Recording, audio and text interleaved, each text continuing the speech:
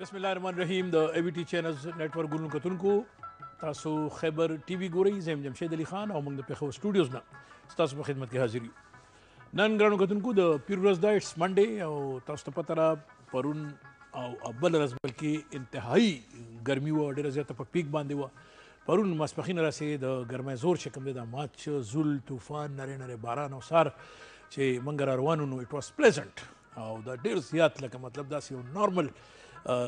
موسم دی او پای کې تاسو وګورئ نو داسې یخه یخه هوا چلیږي او داسې د مې یا جون میاشتو کې چې کوم دی اټس ا ویری پلیزنټ دغه چې کوم دی نو دا موسم روان دی ګران کتونکو ګڼ شمیر سیزونه ستاسو مخامخ راځي او په هغه ګڼ شمیر سیزونو کې چې کوم دی منګه دا کوشش چې د وخت سره سره منګه تاسو چې کوم دینو په دې پروګرام کې ملاقات تاسو کو په دې پروګرام کې مونږ تاسو پیژندګلو کو په دې پروګرام کې مونږ هغه هلې ځلې مخامخ راولو ګرانو کتونکو چې هغه د همروزه ژوند سره دا غي کار دی دویمه دا خبره در ګرانو کتونکو مونږ چې کله هم د خبر ټي وي خبره کوو نو مونږ د ډي 1 نه یعنی د جولای 2004 نه په درې مضبوطو ستنو باندې روان یو او هغه چې کوم دی هغه پیس پروګرس اینډ پراسپیریټي یعنی تری پیز امن ترقی او خوشحالي دا موټیو پرونم وا دا موټیو ننم دا او دا موټیو سبا هم دا ځکه چې د ملکونو ترقی سره پیس او امن چې کوم دی ګرانو کتونکو دا یو انتهایی اهم سیز دی دا بیک بون دا بیسیک لاین دی چې ستا سره امني نو ستا ملک کې خوشحالي ستا ملک کې ترقي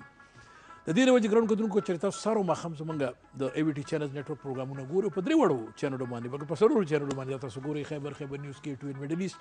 هغه کې به تاسو ته د خپلوالي او ریفلیکشن ښکاري هغه کې تاسو ته خپل ځان ښکاري زمونږ خپل کلچر زمونږ روایت زمونږ ثقافت زمونږ ناسته پاسته زمونږ ملمستیا زمونږ ژوند دا ټول سیزونه د دې سیز احاطه کوي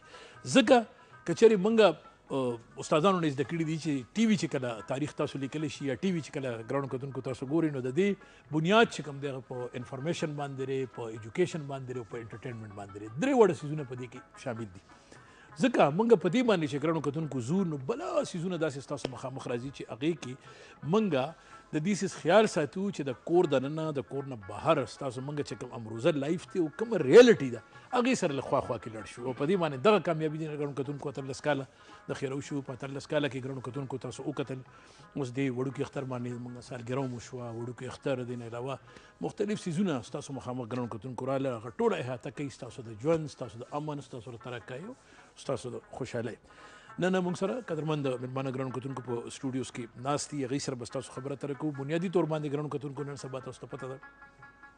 پولیو چې کوم دی دا یو انتهایی خطرناکه بیماری ده تاسو ته پته را ماشومان پلاران پوی نشي باغې نه پس چې کوم دی نو بیا د هغې چې کوم شاته څه به ورته وایو بیک لایچ چې شاته د هغې کوم خطرناک څیزونه وي نو هغه بیا یو ماشوم یا یو ځوان دپاره نه پوره خاندان د هغې په وجه باندې ګرانو کتونکو تکلیف کړي پوره خاندان دغه نو هغه باندې بګرانو کتونکو نه منګه خبره تر کو ځکه دا هم د ای وی ټی چینلز نت ورک او د خیبر ټي وي مستقله ذمہواری ده چې دې بیماری په حواله باندې تاسو ته معلومات درکې د دې تدارک څنګه پکار دی معلومات څنګه پکار دی ولې خلک کنفیوزل کوي دې نه علاوه کچې په ټایم باندې سيزونه وشي نو زمونږ نه سونه څنګه بچ کې دي شي موږ سره ډېر ګڼ شمېر مېلمانه ګرانو کتونکو دا وخت په سټوډیوز کې ناست دي هغوی سره زه ستاسو غواړم چې ستاسو ملاقات وکړم هغوی اول خو زه ډیر محترم یم ایم اونرډ زمونږ د صوبې زمونږ چیف خطیب پاتې دی ماشاءالله لوی عالم دین دی خپل پوی دی ډیر سوبر ډیډیکیټډ خاموش زمونږ د دې صوبې د ریلیجس افیر ماینورټي زکات او د دې محترم وزیر پاتې شوی دی د دین علاوه د دې شاګردان په دنیا کې خواره دي زه ډیر تود هرکلی کوم ډیر محترم کاری روح الله مدني صاحب رواني جمع شي سر ډیره مننه ډیره شکریا اونرډ خیبر ټي وي دي تاسو ته ډیر ډیر هر کله وي د نه پس ګرانو کتونکو زمونږ چې کوم دویم محترم ملمنه ستې چونکه مونږه لږ خبره تر کو پولیو باندې مونږ خبره تر کو مونږ غواړو چې رائټ مین فار د رائټ جاب ا مین چې چاپ سلويخ کاله اولموس په دې فیلډ کې تیر کړی دی او څومره دا چې کمپین ګورنمنټ اف کې پی لانچ کړی دی هغه کې دا یو مین سټیک هولډر او بیک بونو د دې لانچز د پولیو نه د ایمونایزیشن نه د ای پی آی نه د دې سونه ډیر زیات خبر دی د دې علاوه ماشاءالله ډي جی هیلث کې پی پاتې شوی یو یو ډیر امپورټنت پوز باندې ډایرکټر جنرال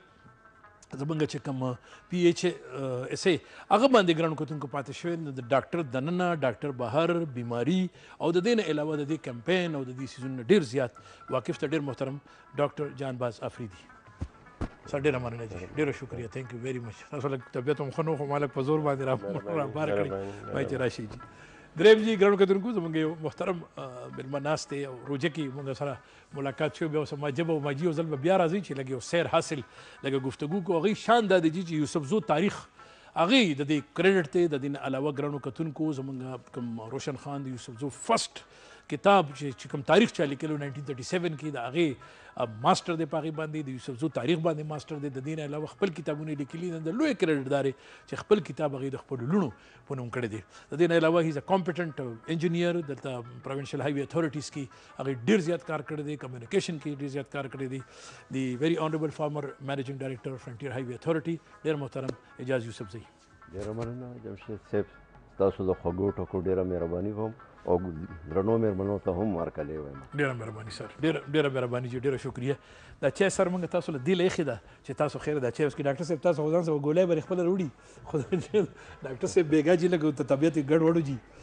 جمشید خان ما جي خیر دی وبولې ښه سر خاجي ډېر مې سر او شای جی پکې لار باندې اوس کې جی سو د خیبر ټي وي ګورونو کتونکو دغه زمونږ نن فلور دی دغه زمونږ ملمانه دي او دی باندې مونږ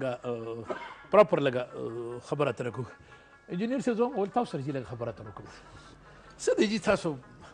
یو طرف ته انجنیرینګ بل طرف ته کتابونه بل طرف ته لیک دا جمشید صاحب دا حقیقت دا دی دا ما نه ډېر خلک دا تپوس کوي او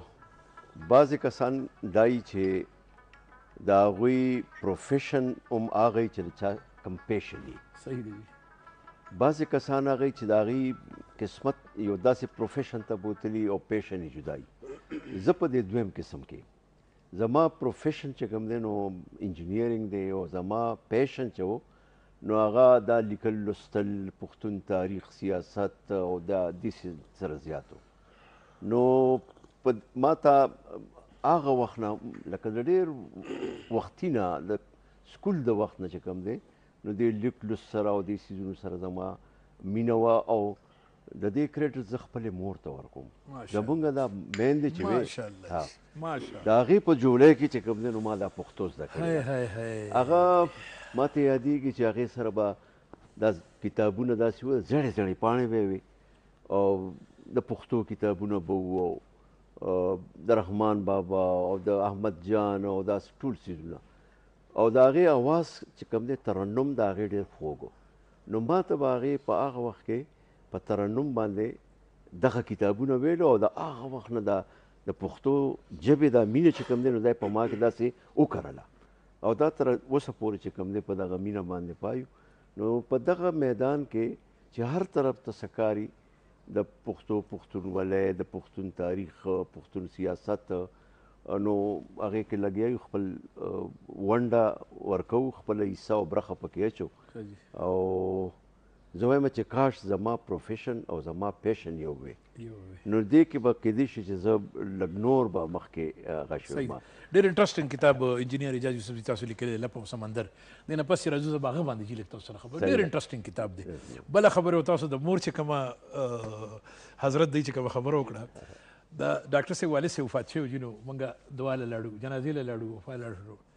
چې جنازه وشوه نو ما ته ډاکټر را نږدې شو ما چونکې ملګری هم دی مونږ د اسلامي کالج کې لږ سینیر آلموست مونږ یو ځای نو ما ته وایي چې جمشید خان د پلار مور ډېر قدر کوه نو هغه وخت کې زما پلار او مور مې وفات شوي او پلار مې وو نو ما ته رانږدې شو ما ته یې لکه وروره ډېر زیات کبه دا چې نی که نه بیا سړي ته پته لګي او بیا ډاکټر صاحب زه چې نن هم سوچ کوم که نه چې یاره زمونږ دغه پلار مور دا به په دې کلي کې یو دا به هلته کې ناست وو مونږ به شپږ میاشتې اته میاشتې کال کې به مونږ نه تلو او چې بیا به زه پلار وکتم نو اکدم به داسې په بړک بړک په خندا شو نو ما چې دا اوس موږ خپل بچو ته جي ګورو کنه چې کوم هغه دی نو دا سم یو هغه پکار دی چې کپلار مور د چا ژوندۍ چا شتنو زئی راځي ولجی اسه غواړي نو خوشحالي په دغه چې یاره دا زوی مال راغی ماته را نږدې شو دا ډېر لوی غنیمت دی او لوی نعمت دی چې دا ژوندي کنه او د دې قدر وکړي شي نور خو قاری صاحب په دې باندې زیات او بل سر چې کومې دواګانې درته وکړي چې لکه زه خو د دې ډایرکټ هغه ما کنه چې لکه صفه هغه نه کوم ما ته د مور کله کله وی چې په خپل ګرځي ګرځي او ما ما چې ته نه بوزي نو ما زه ته عمرې لا ولېګم دا 15 کې سر ګوري خاصه به سر او 15 کې لکه جون کې وفات شوی و دی 15 جنوري فروری کې او دا چې ما ولېګل نو ما ته خلک کله وی لکه خلک د پیجونی او خدای دور عزت درکړي زه ته هم یلکه دا چې کوم مور زما خانه کابه ته لېګلې و او دې داسې خانه کعبې کتلې چې یا الله دا زوی مې باچا کی نو د دې نه بد نور څه شته جي ما دا زمونږ سره ډاکټر صاحب اول خو زه تاسو سره جي بیا خبره تر کوم پولیو کمپاین چې کوم دی دا ملک نه ملک ما سره نن سبا روان دی څه د جي ډاکټر پوینټ اف ویو څه ده ولې دا بیماری دومره ډینجرس دی یاره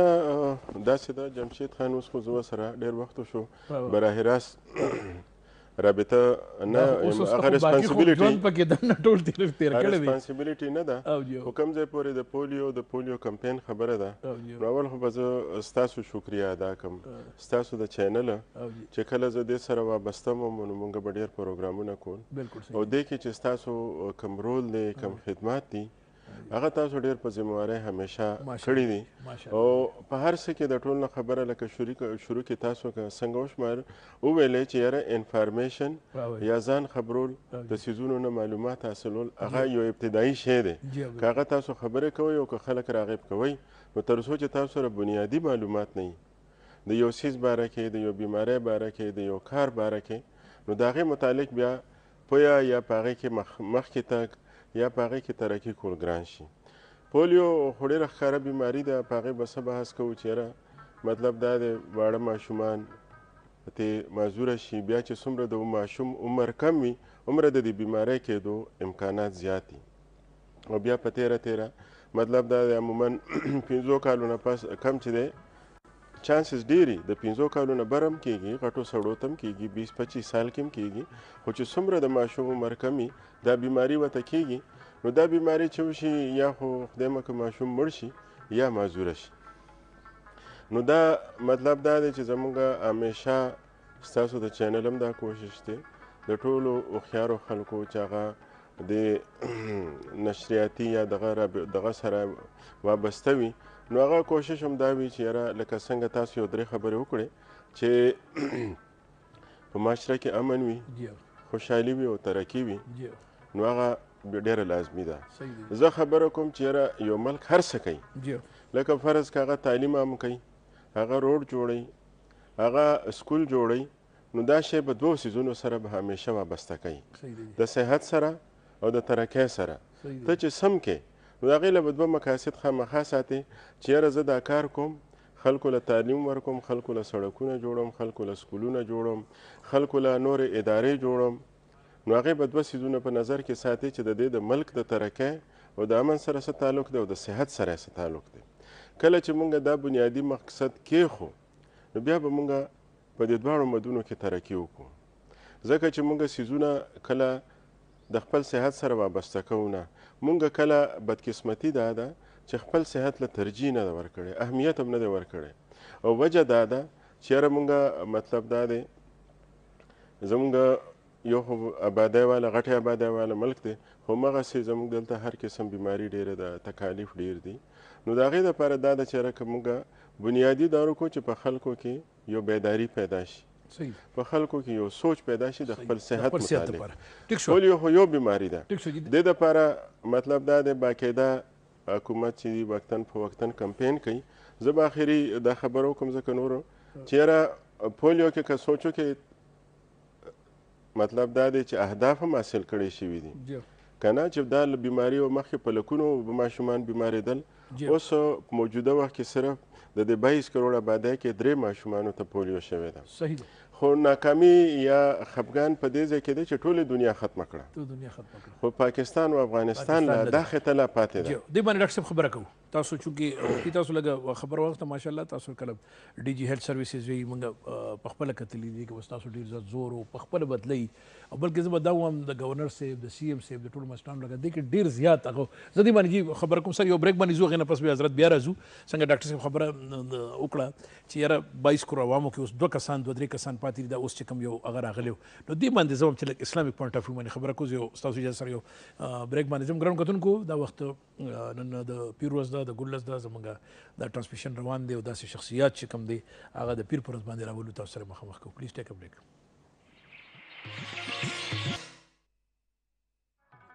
ډیره شکریه یو ځل بیا تاسو ته هرکلی وایو د خیبر ټي وي نن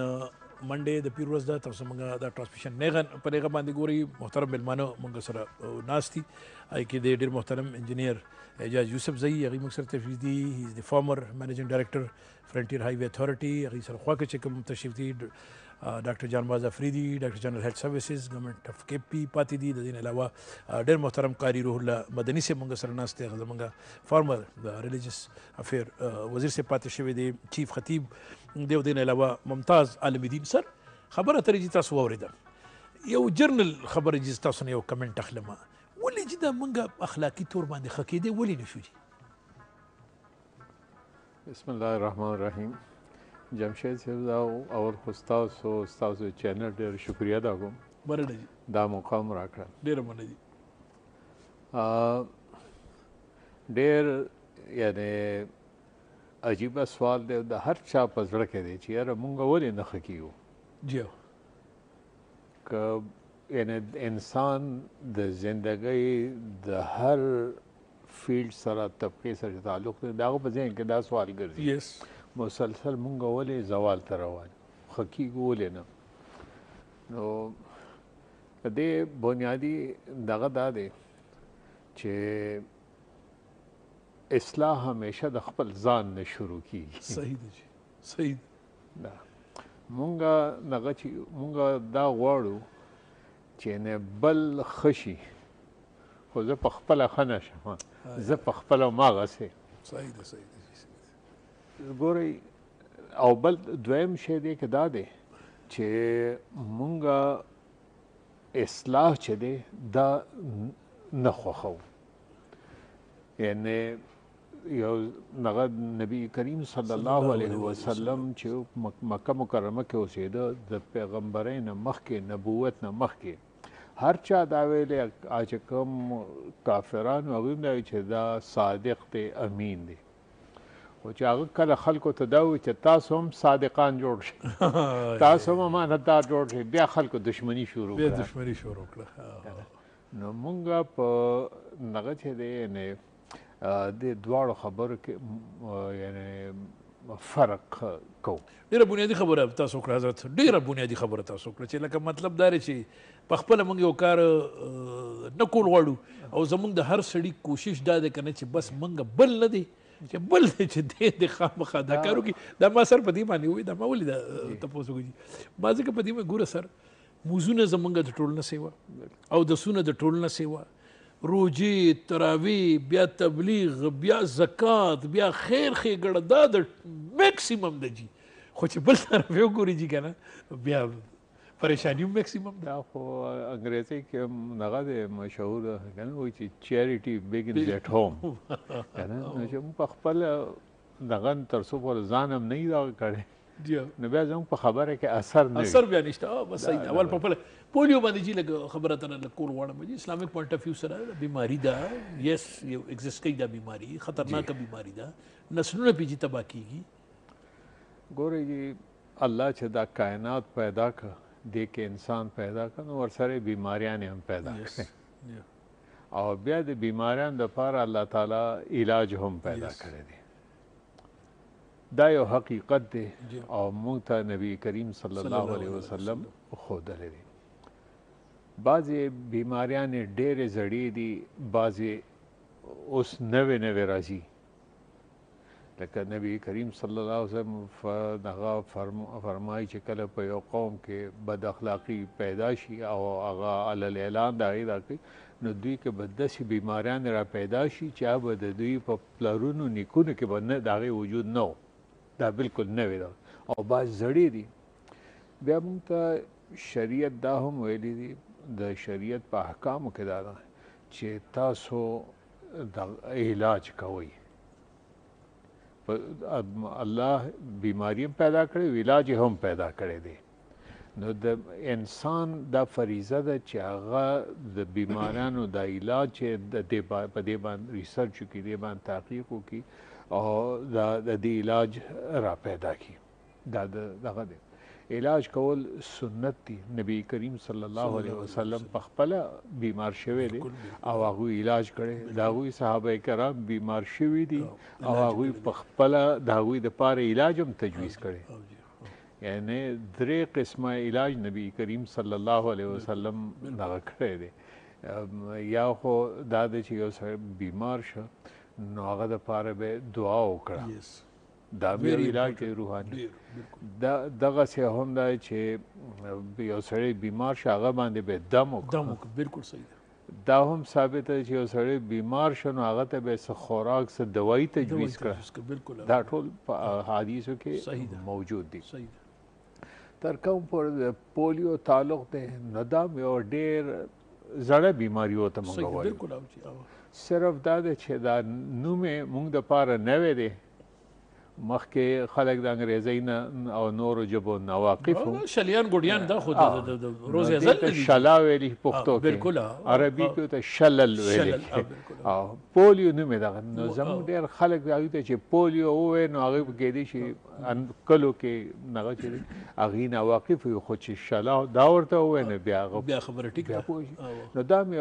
زړه بیماری و او څنګه چې تاسو خپل ابتدایي دا کوی چې ډاکټر سم د خبره اشاره چې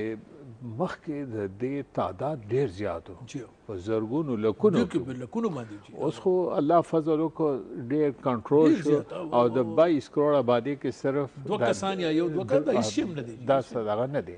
خو دا درې هم چونکه دا بیماری خوريږي نو په دې وجه د دې دا درې هم دغه کو دا نو پکار او چراولو نو اوس نغه حفاظت دغه علاقو کې لګ حفاظتي تدابیر اختیارول پکار صحیح ده صحیح ده بالکل ډیر روغه خبره دی ډاکټر صاحب ډیر مزیدار خبره ګوره شل شلا په خو دا بیماری نه وی کنه جی ګوره جی دا ټولې بیماری نه موجوده وی کنه نو دا غي خپل خپل نمونه زمونږ د پښتنو روایتي نمونه نو هغه زین کې هغه دور نه سټرایک کېدو اټک اټک اټک دور زین کې نه خو چې کله مونږ دا شی شروع کړ جی دا چکن پاکس دی او دا میزل دی او دا پولیو دا او دا فلانه دی هغه باندې جی لګ دغه شروع شو ما انجنیر سه پرون ما لګو تکي دا یو د درې سیزونو ما سره نو مار دی خیبر ټي وي زمونږ چې کما د مختلف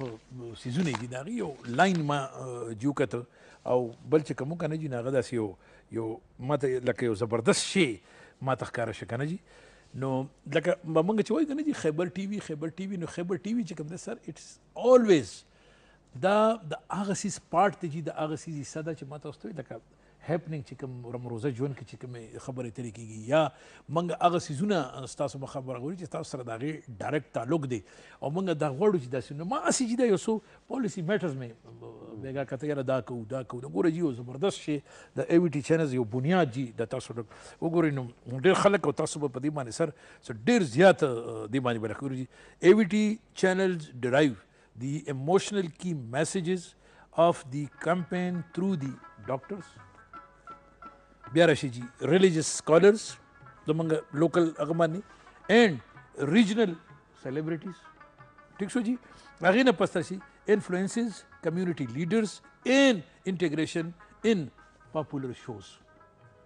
لکه دا داسې څه خبره نه ده چې چې لکه موږ څه د یو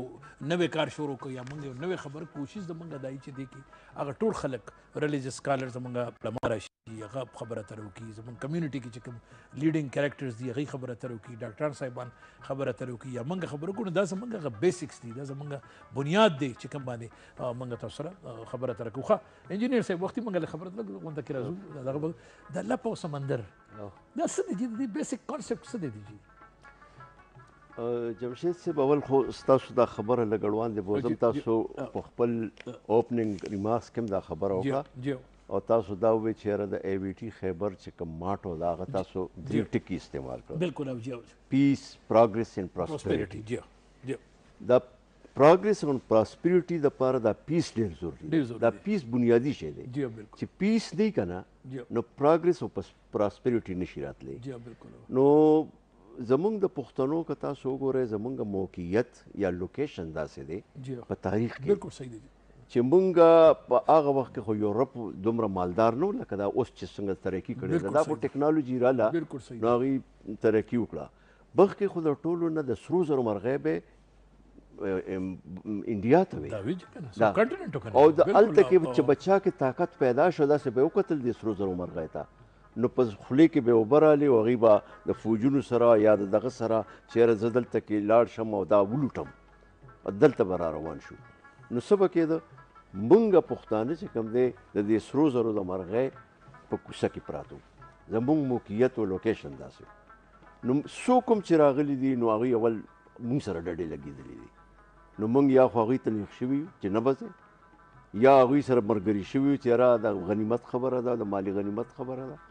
یا هغوی موږ سره رشتې کړې دي لکه بابر چې کوم دی دلته کې رشته وکړه او دا خلک یې ځان سره ملګري کړه نو په تاریخ کې چې تاسو وګورئ نو زموږ په دې پښتون ټاټوبي کې زموږ د موقعیت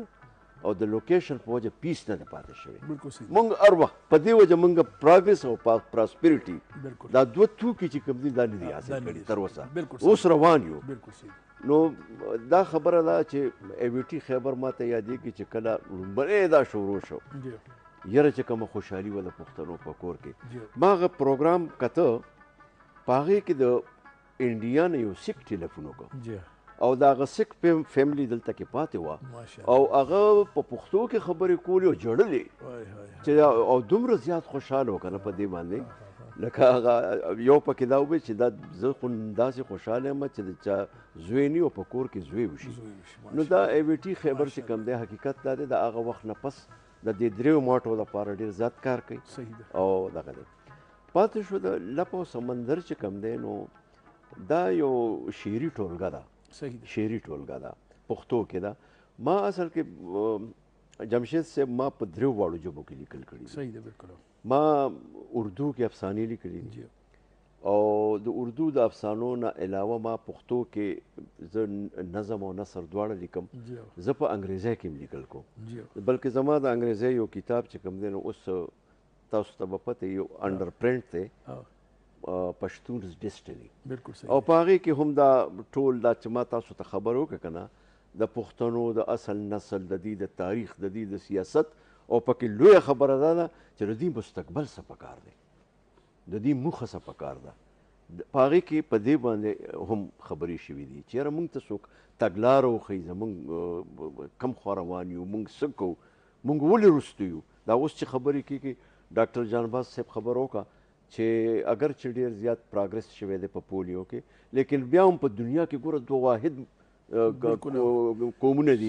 یو افغانستان چې هغه موږ یو او یو دلته کې او په دلته کې په پاکستان کې چې هغه هم زما خیال دی چې زموږ د پښتنو علاقه کې دلته ده که نه شمالي وزیرستان کې نو دا د دواړه دی نو که دا دواړه یو ځای کو مطلب دا دی چې پښتانه هغه قوم دی چې په دنیا کې پولیو نشته لیکن په دې کې اوس هم شته نو موږ څو دا زمونږ د پسماندګۍ دوه کله رسب غالبا زیرو شی وو بالکل نو دا زمونږ د پسماندګۍ دغه خې زمونږ چې زمونږ اویرنس نشته زه بیا دا خبره کوم چې زمونږ د اویرنس لپاره کاری صاحب ناس دی دوی خو ډیر زبردست کار کوي او د ممبر استعمال چې دی که نه دا ډېر ضروري دی که دا شوی وی په هر وخت کې د ممبر استعمال شوی زمونږ خلک په ممبر چې څوک هم ناست دی د هغه په هغه باندې یقین هم کوي د هغه خبره مني هم د هغه په نصیحت باندې هم دغه کوي نو دا ګوره دا لکه دا پولیو شوه مخکې دلته کې خودکش حملې وې داسې نور په دې پښتون معاشره کې ډېر دغه دي چې د ممبر نه د هغې لپاره رهنمایي کېدی شي. هغه رهنمایي په کار ده چې څوک په دې باندې چې دا فلانی به خفه شي، دا فلانی فرقه به خفه شي، دا دغه به سیاست کې به زه شام څوک به مې دغه وګڼي. دا نه چې پښتنو ته لار وښي. دا دا منبر چې دی دا د قیادت او د د د غز ځای دی. چې د د ګایډنس ځای دی چې پوره نو بیا زما خیال دی په کلی کې چې کم پښتانه دي په دې پوهیږي چې را په منبر دا خبره شوې ده دا رښتیا ده صحیح ده انجنیر اجازه یوسف تاسو کوم خبره تر وکړه بیا دینه پسې راځو بیا ډاکټر صاحب کاری صاحب تاسو سره بزر لګی جی دا خبره لګ حضرت دا تاسو لګ وړاندې کوم دا ډیره بنیادی خبره ته بل دا ګوري جی دا منبر داسې وځي ده کنه جی یی دی کنه جی د حضور صلی الله علیه وسلم وخت کې چې څومره اختلاف وجي اخو نن خو نشته کنه څومره اختلاف هغه زمانہ کې خبرې اترې نه هغه باندې جی نه زو خو هغه یو خپل یو خبره و بس غیر ټینګه کړې و چې خبره هم دا ده نو نو نو مکه خبره صحیح شو نو زما مکه د اختلاف جشته یا فرقې وسشته یا هر چا خپل خپل حساب کتاب دی خو کم از کم دا منبر داسې یو ځای دی کنه چې دی باندې یو عاقل بالغ لیټریټ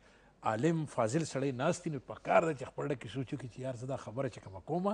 دا د انسانیت د فلاح دپاره ده د یو ګوند دپاره نه کوم د فلاح دپاره چې یو خبره وکړو ما ته ښکاري دا ویری امپورټنټ دی نه پس جي بیا راځو بیا دې باندې خبره تر کوو جي ګران کتونکو پلیز ټیک بریک جی یو ځل بیا تاسو ته هرکلی وایو ګڼ شمېر ګرانو کتونکو زمونږ ډېر ښه ښه ماشاءالله شاعران اتلان دا تیر شوي دي ما ته انجینیر صاحب ډاکټر اعظم اعظم صاحب لږ ورته رایاد شو د ډاکټر جان باز هم ډېر اعلی ملګری و د صاحب هم سره تعلق نو ما به جي هغه سره کله کله ډېر ګپ پیل ډېر ګپ په موږ لګو ډېر سیزونو کې نو یو ورځ دک شان هم دی خیبر ټي وي کې اټ واز 2007 2008 غالبا 8 دا موږ ته بار بار وایو کنه سر زمونږ مسله بله ده مونږ ته خلک وایي هر وخت تاسو په دې خوله کې بله خبره نشته خو خیبر ټي وي او خیبر ټي وي خیبر یاره مونږ وایو مونږ ریفرنس ټو کانټیکس خبره کوو مونږ د هغه د خیبر ټي وي چې کوم ایگزیسټنس ته په هغه باندې خبره تر کوو د دې چې کوم سکسس سټوریز دي هغه باندې خبره تر کوو ګوري جی او ډاکټر اعظم اعظم مونږ سره ناشته د یو دوه رونو جی هغه وخت کې د ډاکټر صاحب دوړه کولیګو ا دوه یو شان ټوین ټوین دوړه رونه چې مجاهد او ریاض یو مجاهد او ریاض جی نو یو مجاهد یو ریاض نو غالبا چې کوم دی نو مجاهد خو وفات شوی ریاض وفات سوري ریاض وفات شو مجاهد دلته کې او مجاهد دلته کې تاسو غالبا چې زمونږ کوم دا هیلث ریګولیټری اتھارټي و د دې د کې مو د کې د پولیو ای پی آی کې پاتې شو پولیو کو سوري جی خبره مونږ څه کوله ناستم نو ډیر راغلی جی ډیر راغی خیبر ټي وي دفتر ته 2007 کې اعتماد کې زمونږ افیس اډ کې دی راغی نو مونږ ته وایي چې یاره جمشید خان داسې څه خبره ده او تاسو لږ دا خبره وکړئ او دا د پولیو داسې او مر بله مختلف د د خپل هغه وکړو ما سره اتفاقي هغه ټایم د ډاکټر اعظم اعظم جي ناستو دی ورته داسې ګوري ګوري ګوري ورته وایي چې خانه زه خو تا نه پېژنم چې ته هر څوک یې خو داسې کار چې تاسو هم لور د کوره هم زه هم د کوره اوس هغه ته وایي که نه جي د مجاهد ته وایي که نه نو ورته جي ولې ولې خبره وره یاد ساتئ وی ګونګي د ګونګي په جبه پويږي پوه شئ تاسو دا شی دومره ډایرک کړی دی کنه دومره ډایرک کړی چې خلک تاسو چې مونږه معاف کړي ګوره وی دې د لپاره ګراوند جوړ کړي حضرت دا خبره له غور سره ووري دې د لپاره ګراوند جوړ کړي ګراوند وی خجی سګ ګراوند جوړ کړي دې د لپاره ټي وي استعمال کړي او ته یاره ډاکټر صاحب مونږ سره راغلی او اعظم صاحب دا ته مونږ ته سوې زه ته بیا هم ټي وي استعمال کړي خلکو کې اویرنس را پیدا کړي وای دا تاسو راغلي د ټي وي دومره لوی فلور د سره دی وی جی څنګه وکړو وی ډرامو وی ډرامه پې کوو دا ګوره جی ریالټي دا 2008 خبره کوم وی ډرامه ویره جی مونږ د پولیو خبره کوو ته مونږ ته وای چې ډرامه وی دا څه کار دی زه د ډرامه لیکم مال بخیر ټیک ټاک پیسې راکوي وکې دی جی دا خبر ټي وي به تاسو له ډرامه جوړه کی ټیک شو تاسو اوچلوئ که د هغې افیکټ را نغی ما نه به جي تاسو کوي تاسو یقینو کې جي کټینګ شاټ ډاکټر صاحب سره دې اګری شو خیبر ټي وي هغه ډرامه پولیو ولیکله د هنی بلوچ د غي پروډوسر جي هغه ډرامه چې جي جوړه شو هغه ډرامه او چلی دا تاسو یقینو کې جي ننم خیبر ټي وي ما تخکاری چې یو ځل دوه خو دی له چلولې او شپږ ځله خپل ځان له چلوله او دا غي دومره لوی ریولوشن هغه یو ډرامې راوستل دومره چې کوه کوي ریډیو کې جنې و هغه به یو لکو دي د आवाज به اورید आवाज خوښ شو چې کله رښتو لګل نو شي واز لیمپینګ ګډه ګډه روانه و کلایمکس دا و دا لکو واپس شوی نو نو ما تاسو چې وخت موږ خبره کوله کنه موږ دغه وای چې سر تاسو میډیا محراب ممبر دا مهرباني وکړئ پوزټیو استعمال کړئ ډاکټر صاحب تاسو مین سټریم پاتې وئ ماشاءالله وین یو ار ډایرکټر جنرال پروینشل هیلث سرویسز اتھارټي کې تاسو ناسو کمپاین تاسو مخامخ بینګې ډایرکټر وینګ ډي جی ستاسو مخامخ تیر شوی دی اکسس نه کیږي وجه څه ده چې بنیاد کوم ځای نه غلطي وشي دا سه دا جمشید صاحب اول به زه په دې حواله سره لکه څنګه مولانا صاحب فرمایل هم الحمدلله ډیر لوی عالم دی او ډیر لوی دانشور ناست دی نو زه به په احتیاط خبرې کوم هغه داسې ده چې ګوره انساني صحت څه دی کنه هغه لازم ده چې د دې صحت خیال وساتي او هغه ټیک ټاک بیمار نشي دویم دا دی چې کوشش به دا کې چې د بیماری نه ځان بچ کې دریم سټپ راځي چې یاره بیمار شي زر علاج وکړي او ټیک شي علاج خو جایز دی خو د پولیو په حواله سره به زه دا خبره وکم چې په دې کې اهمه خبره ما لکه صحت بچکول دی او بیا د دې پولیو نه ځان بچکول دی او د پولیو نه بچ کېدل ډېر اسان دي چې دوه کترې یا دوه څاڅکي چې کوم د پولیو ویکسین دی هغه واچي دا د دې نه د بچاو ډېره اسانه طریقه ده. اوس څنګه یوسفزی صاحب وسپارل چې یاره زمونږ په معاشره کې د ممبر ډېر امپارټنټ رول دی ځکه چې څه ممبر وای همغه خلک فالو کوي اوس څنګه لکه تاسو چې بدقسمتۍ نه چې یاره په دې وطن کې د امن تاریخي طور ډېر فقدان پاتې شوی دی او دلته داسې حالات پاتې شوي دي چې یو کس به یو څیز ته ښه وي او مغه څیز به ته بد وي د تیرو حالاتو سره په وبه چې چا به حلالول هغه به هم کلمه ویله او چې کم به حلالول هغه به هم ویله نو اوس هم دغه بدقسمتي د دې پولیو په حواله سره ده چې اوس هم خلک بعضې خلک انکار کوي چیرې زما په ماشوم به څه چلو شي او دا د یهودو شی دی او دا د فلانې شی دا ډنګړې شی دی هغه فیکټر اوس هم شته چې یاره ډېر خلک دا وایي چې بهي دا څاڅکي واچوئ چې ماشوم دې بچ شي، خو بل طرف ته که راپاڅي نو انلکیلي زه به د خپل وطن دا خبره وکړم چې ګورننس ګوره دا څه شی دی د ګورننس به زه ته تعریف په دوو قسمو کې وکړم ګورننس هغه دا دی چې ته د قانون احترام وکړې که صدر پاکستان یې او که هم شهري او که فرض که څوک یې احترام نه کوي نو بیا ستا په سټیټ او په حکومت او ستا په هغه کې بیا دومره زور په کار دی چې کم یې نه کوي چې د هغه نه تپوس وکړي چې بی ما کم قانون حکم کړی دی د سرکار د دې تابعداري او پابندي ولې نه کیږي نو دا که اوس ګوره ګوره د یورپ مثالونه تاسو ورکه یا بعضې ملکونو کې چې یاره اعلان وشي چې دا کار وشو بس وشي دلته مونږه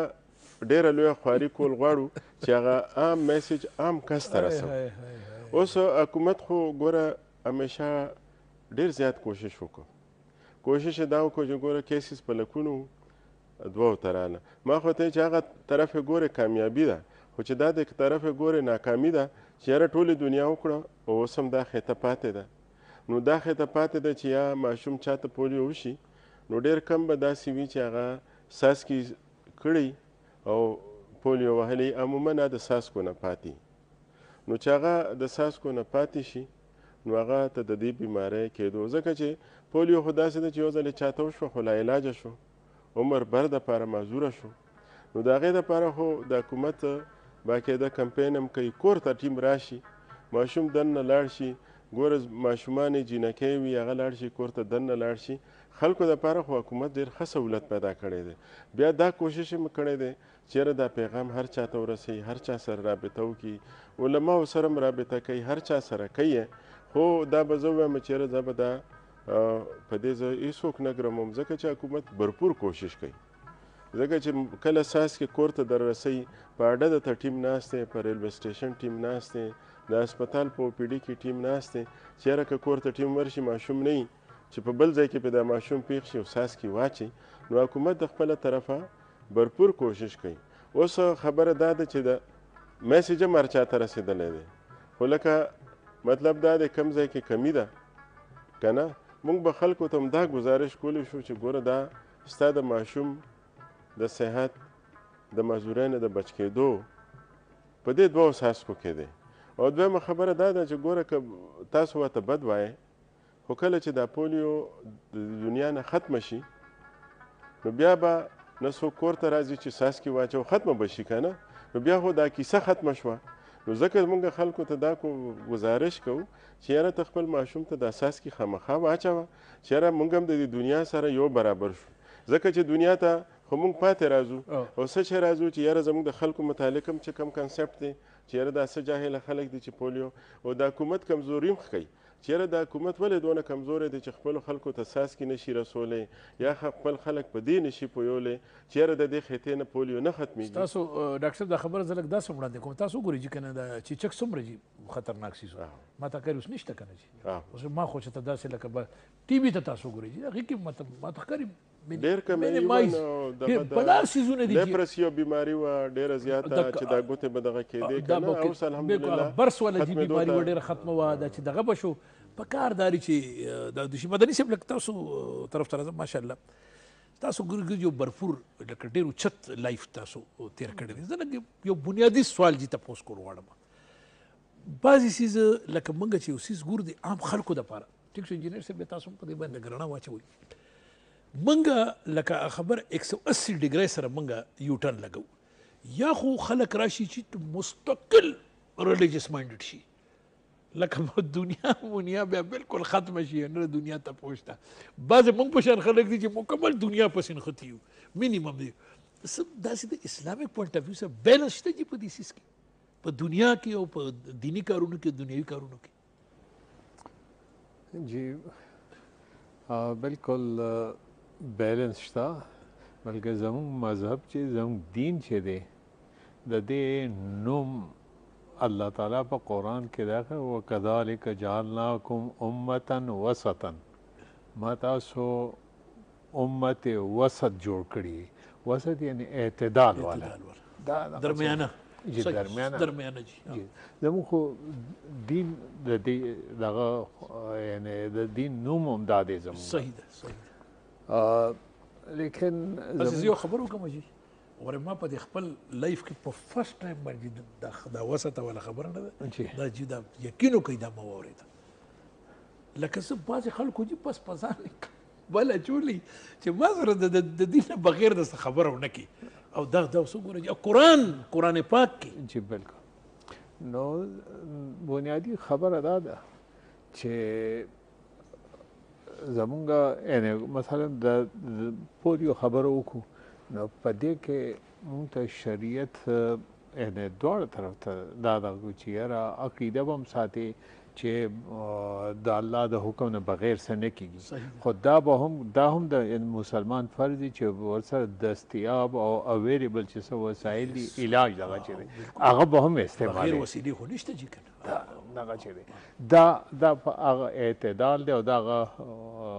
وسط دغه خبره چې کومه ده هغه دا اوس د پولیو باره کې کومګه نور په تفصیل سره دا وکړو ډاکټر صاحب خو د دوی خدا فیلډ دی او تاسو کوم ډیر پروګرامونه کړی تاسو هم معلومات د چانه کم نه دی په بهر حال دا زمونږ دغه چې دی یعنی خلک دا وایي چې خو ذهن چې دا په خو جسم کې نو چې ستا جسم چې شال ګډ شو نو دا ورسره پرلای شو خبر ختم شو جی بالکل دا یوازې د د خپو بیماری نه ده چې یو سړی به دغه شي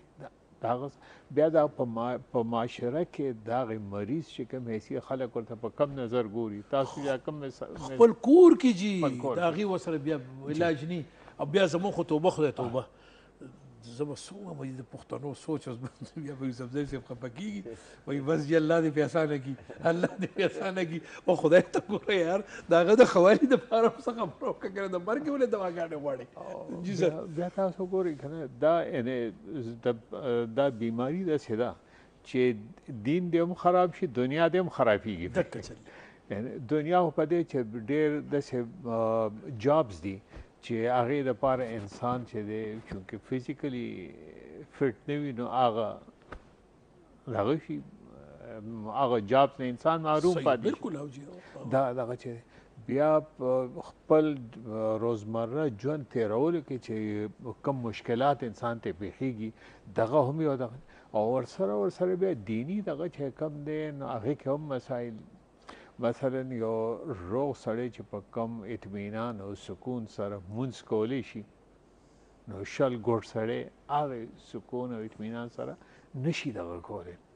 نو دا د دې اثر چې د انسان په ذهن پرې وځي د بیماری چې کم ده د دې اثر د انسان په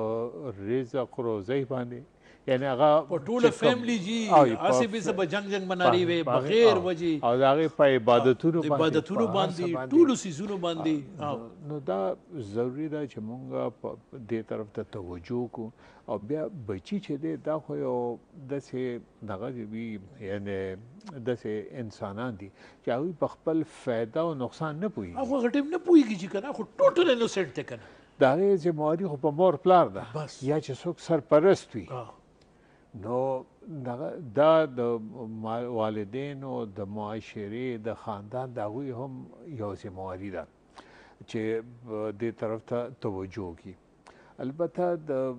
میډیا دور دی نو په میډیا کې بعضې دغه د سپیشلی په سوشل میډیا باندې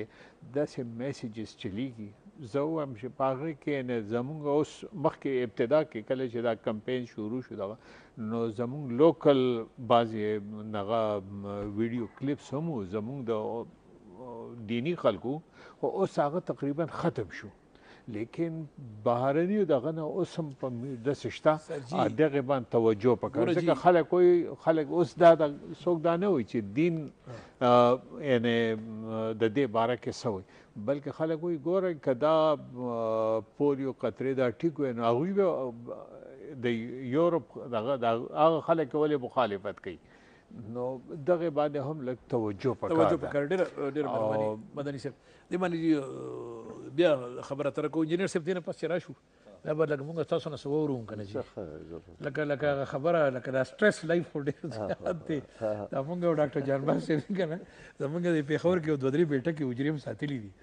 چې ډېر خو نه شو راغونډې دی خو چې کله کله راغونډ شو بیا به که موږ یو سیو سیر زه یو برک باندې ځم هغې نه پس ځکه ما دا خبره هغې ته جي لکه برابروم نو ځم چې هغه باندې به بیا لګه خبره ترو کو بیا چې مدني صاحب کوم خبره ترو کو تاسو هم پاغي باندې خبره ترو کو بلکې زما خو په اخره کې هم دغه خبرې جی چې د ډاکټران صاحبان خو ډایرکټ کار دی کنه خو چې کوم زمونږ د لټریچر سره د کوم خلکو جی تعلق دی یا زمونږ چې کوم مدني سه په کوم ځای باندې ناست د دې خو ډیر لوی مطلب داري چې ګوره ذمہواری جوړیږي نه کنه دا خو راځي نه قلم دی جی دوړ سره کنه نو دا غي ور سر یو بریک باندې نو بیا راځم بیا په کوله خبرو کو چې خپل خبره یا ساتي جی ګران کتونکو پلیز جی تاسو ته هر کله وایو ګران کتونکو نن د پیر ورځ دا اس باندې ټول دنیا کې تاسو ته پته را ګران کتونکو د خیبر ټي وي چې کوم نشریات دي هغه هم دغه شان رواني د زمونږ چې کوم فکس پوینټ چارت دی کوم ته مونږ اف پی سی وایو د هغې متعلق ورځ پر ورځ باندې بدلون راځي اوس اوس مونږ د سالګرې اتلسمه سالګره وشوه ماشاءالله ډېر په کامیابه باندې ډېرو دنیا نه ډېر ښه میسجز راله دی نه علاوه اختر موقع وه هغې باندې هغه کو روژه کې تاسو زمونږ یو نان سټاپ ټرانسمیشن وکړ نو دا د دې متعلق روان یو دا شان هر یو کس ته چې کوم دی نو خپل خپل یو ورځ ته یو ډیوټي اساین ده نن منډه ده په دې کې مونږ ته دغه ویل شي دي چې تاسو ایجوکیشنل سره سکالرز فارمر لوی لوی خلک تاسو را غواړي زمونږ د دې شو چې کوم دی هغه پروډوسر مرګره دوست فهمید خان دی او دې باندې چې کوم دنه موږ کوشش هم دا کنسلټیشن دې باندې رواني پرون راسم فهمید بار بار ما سره لګیا و ډېر زه خوشاله شوم چې کوم ځای کې لګ د مشرۍ کشرۍ یا د دې یو هغه رواني ریسپیکټ او زه دا خبره په جار باندې جوړه ما چې درې سلور زره ما سره پراپر کنسلټیشن وکړي چې رجی کچره موږ دا ټاپک کوو نو د لکم سړې په کار دی کومګه دا کوو نو سره سو په کار دی بیا زه چې رالم نو مال پوره هغه پالیسی سیزونه مال راکړ سو ویری ویل ډن لکه دا سیز دا سی کنه جی یو ټیم ورک ته یو ټیم ورک باندې سړی روان نو هغه باندې سړی خوشاله شي سو ثانک یو فامیت زنده باد ډاکټر صاحب تاسو خبره تر کوله څه خبره تاسو دا وی چې ګوره تاسو لکه وختي خبرو کې چې ډایرک ډاکټر ډایرک وابسته دی د علاج لپاره خو چې دی که نه یا اسپتال یا ډاکټر بالکل ذموار دی چې څوک بیمار شي نو هغه کار صرف د ډاکټر شي چې د هغه بیمار علاج وکړي خو کله چې د بیمارو نه بچ کېدو د صحتمند پاتې کېدو دپاره بیا ډاکټر ذموار نه دی نور خلک دي لکه په هغې کې ستا سوسایټي ستا معاشره ستا علما ستا نورې شعبې ستا پبلک هیلت انجینیرنګ دی ستا لوکل ګورنمنټس دي ستا انفارمیشن ډپارټمنټ دی دا ټول ادارې بیا ذموارې شي ځکه چې ستا اوبه صفایي ستا خوراک صفاوي ستا ماحول صفاوي ټیک ده که نه نو بیا به څه چې په هغه سوسایټۍ کې بیمارۍ کمې وي او دا څه پټه خبره نه ده لکه ترقي یافته ملکونه وګورئ نو زمونږ په دې وطن کې د ډېرو عامو بیمارونه ماشومان لوی هر رنګې خلک مري پولیو اوس هم شته د مطلب دا د شری نمری د ټي بي نمری د ټایفاید نمری دا اوس ګوره دا ډینګي او دا دا نور دا بیماری په زموږ په شان په سوسایټا کې مري همدا چې کله هم دا بیماری راواله عام بیماری راواله نو په ترقی یافته معاشرو کې د دې بیمارونو مرګونه کم دي ولې چې هغوی مطلب دا دی چې خپل د بیمارۍ نه بچ کېدو دپاره او د صحتمند پاتې کېدو دپاره هغه عوامل چې دي هغه پیدا کړي دي په معاشره کې امن هم شته ترقي هم شته پاکې اوبه هم شته پاک خوراک هم شته صفا سوتره ماحول هم شته ښه تعلیم هم شته نو هغه څه دي چې څنګه مولانا صاحب وسپارل چې کله نفسیاتي بیماری د کم ځای نه راځي چې کله ته ستا جسمانی طور ټیک نه ستا ماحول ټیک نه ستا د کار کولو ماحول ټیک نه د کور ماحول د ټیک نه مالی مسلې وي د خوراک مسلې وي یا سی هغه بیا ډایرکټ ستا په ذهن باندې اثر کوي او چې کله د ذهن بیمار شو نو دا غ براه راست بیا په باقی جسم باندې او چې کله اوس ګورم لکه اخیری کې یو ماشوم پولیو واله او یو ماشوم صحتمند دی ماشوم صحت اوس د ماشوم په جو خله کې خو دا جبه نشته چې تا نه سو غواړي هغه خو مور پلار ذمہواری ده چې د ماشوم ډیماند څه دی او د هغې مطابق پوره کړي ماشوم صحتمند لوی شو تعلیم یافته لوی شو هوښیار لوی شو هغه په روزګار شو نو څه شو معاشرې دپاره یو فایدهمند بنده شو خو که دا ماشوم معذوره شو نو صرف په خپل مور پلار نه مور پلار خو به تر څو ژوندي وي هغه به اوچتوي په ټوله سوسایټۍ بوج شو ټوله سوسایټۍ دپاره هغه مسله شو ځکه چې هغه معذوره بنده ساتل غواړي نو هغه دپاره ټیک د حکومت به هم بعضې ذمهوارۍ اوچتوي خو لکه په هغې کې بیا د هغه د خاندان او د معاشرې څه ذمهوارۍ دي نو هغه څه شي چې زموږ په معاشره کې بیا داسې بوج پیدا شي چې د هغې نه بیا نورې مسلې پیدا کیږي او نورې مسلې څه دي چې غټه مسله زمونږ امني چې یاره زمونږ امن دی مونږ په یعنی تاسو نن سبا زه یو د اردو اخبار ګورم سحر کې خو زه چې اخبار وګورم نو ته په خدای یقین وکړه سړي کې ډیپریشن پیدا شي چې د رشتو عزت ختم شو عجیبه عجیبه واقعیات موږ ګورو په دې اخبارونو کې نو سړی خفه شي چې زما دا سوسایټۍ د دې سوسایټۍ امن کم پلو روان دی مونږ چرته ولاړ یو نو که ځان ته ښه وی ټیک ده په دومره غټه آبادۍ کې چې پاکستان د دنیا پنځمه غټه آبادي ده په هغه طرفدار خو که په هغه ګورې خو ټیک ده مطلب دونه څه نشته خو که بیا ګورې نو مطلب دا دی دا د آینده د مستقبل دپاره ډیر خطرناک ماحول ښیي چیرې دا مونږ کم طرف ته روان یو سبا به زمونږ د معاشرې او د سوسایټۍ نه څه جوړیږي نو لهذا مطلب دا دی چې مونږ څه دي چې یاره څنګه د دین خبره مو شوه دین خو تا څه جدا شی نه دی په ځان باندې مطلب په ځان عمل په شروع کا بس اسم نشته ځکه چې دین اوس مونږ دین هغه سیس پورې خاتلې دی چیرې فائدې می دین خبره کوم چې نه می بیا ارشه چاته پرېدم دا خو ګوره د انسان ذمہ داری ده چې زما ته زما دین زما مذهب زما پیغمبر څه حکم راکوي په هر هر عمل کې په هر عمل کې که زه اپلای کوم په معاشره کې به برداشت راشي په معاشره کې به امن راشي په معاشره به د یو بل سره ډېر د سکون او د ژوند تیری تاسو ډېر ډېر خپل خبرې دي تاسو کوي زه بل دا لګ وړاندې کوم مصیبت داري چې مونږه مدني سه په هر څه باندې خپ ویګو خپ هر څه باندې پويګو چې دا شی زه کوم دا غلط کوم د دې اند غلط دی د دې خو ما کې دنه هغه پاور نشته چې زه دغه شی لکه سټاپ کوم تاسو ګوري جی کنه تاسو لکه د میډیا خبره تر وکړه کمی کمی خبرې چې دی چې تاسو تاسو ته خیال لګي لکه کمی کمی خبرې زه خو د بازي سيزونو آی وټنس ما جی لکه دی بد خبره ده چې بیا وایي جمشید صاحب ته چې کینې داری داری داری وایي جی دا رااله نو هلته کې وایي مسجد نبوي صلی الله علیه وسلم کې وایي جی دا خبرې وکړې تاسو خو جی په خپله په زرګونو زره تللي دي چې موږ تللي دا په دې مسجد نبوي کې چې صرف دا د دې چغو د خبر رااله تاسو جیل ته وګورئ ته بخدای ته د کوم کوم بلکونو چې راځي په جمعات کې دنه جګه غلاګانې کوي په جمعه یو ځل مې کتو سه یو تور د پاسه یو درې د شورتې په ناس تیریا بالکل د د خانه کبي سه بالکل مکه غکی الکه ولې ویل دنه جیبونه وي حرکت کوي سيزون خو تاسو میډیا خبرو کې چې بیا موږ د کوم طریقې سره یو خاص سیز لبته جی هاي پور کې څومره جی فرقې مختلفې تل کې رواني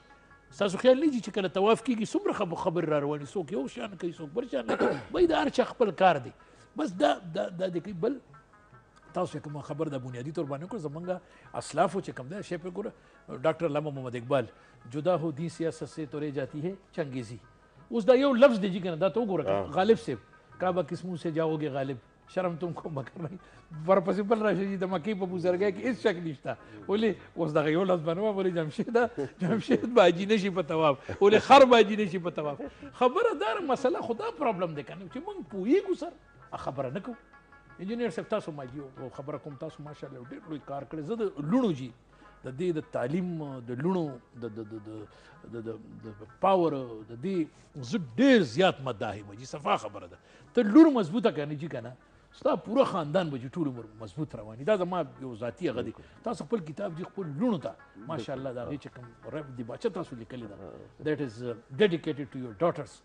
او سلوټ ټو یو سر ریلی دا رنه زه تاسو ته خبره کوم چې داسې ډیر کم خلک دي چې هغه داسې اوپنلی دا یو خبره کوي ولې چې د بیک ګراوند سره دغه بیک ګراوند نه مخکې خبرې ډېرې ښې وشوې او په میانه روی باندې وشي قاری صاحب هم وکړي ډاکټر جانباز صاحب هم وکړي او هغه کې دا خبر تاسو هم وکړه جی چې مونږ پښتانه یا خو بالکل رائټ ته روان یو یا ایکسټریم لیفټ ته روان یو مونږ مونږ ته ایکسټریمیست په دی وجه ویل کی مونږ د منځ لار چې کم دی پیدا نه مونږ پیدا چې ژوند کې پیدا نه لکه اوس تعلیم واخله په تعلیم کې درې سيزونه پکار دادي چې دا بلندینګ دینی تعلیم عصري تعلیم او کسبي او وکیشنل تعلیم دا چې بلندی کنه نو دغه معاشره به بیلنس معاشره وي دا به مخکې ځي او دا به دا به یعنې نو مونږ داسې بعضې څیزونه داسې دي چې هغه مونږ یو طرف ته چې دغه شو کاږه شو نو بیا دومره زیات کاږه شو چې مونږ په ټوله لاره باندې نیغ نشو تللی نو مونږ له پکاره چې په منځ لاره ځو نیغ ځو او دا ټول څیزونه چې کوم دي نو دا مونږ زده کو دینی تعلیم هم زده کو عصري تعلیم هم زده کو ټیکنالوژي هم مونږ ګور نه دنیا په دې کمره کې وګوره ډیر داسې سیزونه دي چې دا د مونږه کارو لیکن هغه مونږ نه ایجاد کړی دا د بار نه دلته کې یو ستنه قدر مونږ نشو ایجاد کړو بالکل صحیح دا ولې زمونږ یعنی هغه رجحانات هغه طرف فوکس هغه ځای نه دی هغه ځای نه دی یا غو ته وای چې مطلب دا دی بس دا مطلب دا مون په منځ باندې مونږ نو یو خدا خبره شو بله د د لوڼو خبره تاسو وکړه د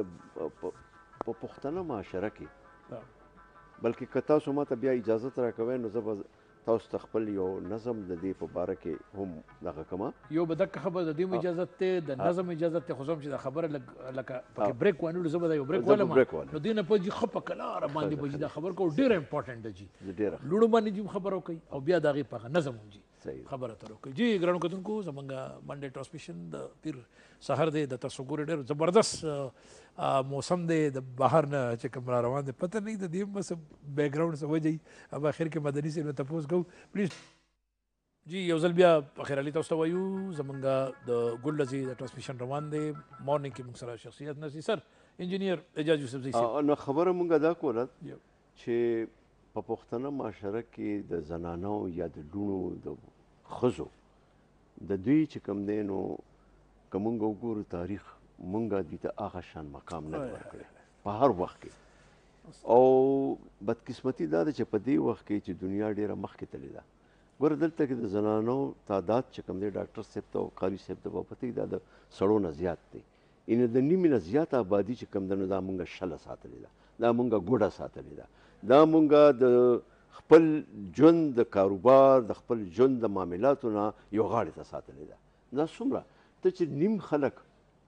دغه شان ګوډ شل وساتې، وایه عامه شهر به څنګه وایه مخکې ځي؟ ډسیبل ها ما په دې وخت کې دا لیدلي دي چې په یو کور کې واړه چې وي که نه نو خپل زوی به چې کوم دی پرایویټ سکول ته لیږي، جی او خپله لور چې کوم دی یا سرکاري سکول ته لېږي یا یې ډولېږي نه او بیا ته یو حده پورې چې کوم دی هغې نه پس ورته وایي تا ته ضرورت نشته ته خو بس هم پردي کور ته ځې نو دا دا څیزونه چې کوم دی دا زمونږ په معاشره کې شته ټیک د حالات ښه شوي دي شعور لګ راغلی دی لیکن اوس هم چې کم دی زمونږ ډېره لوی آبادي هغوی زنانه چې کم دی ګوره مونږ زنانو سره دا کو زمونږ پښتونولي چې ده دا وی چې دا یو ان ریټن کوډ اف لایف دی څنګه چې دا برتانیې قانون چې دی نالیکل قانون دی کنه پر روایت او په کنویکشنز او په دې باندې چلیږي دغه شان د پښتنو دا دستور چې دی چې پښتونولي وته وي د دې تاریخ هم پته نه چې دا د کله نه شروع شوی دی او دا ان ریټن دی په دې باندې خلک روان دي لیکن څنګه چې په مذهب کې بدعتونه رانه نوتي دي خلکو د خپل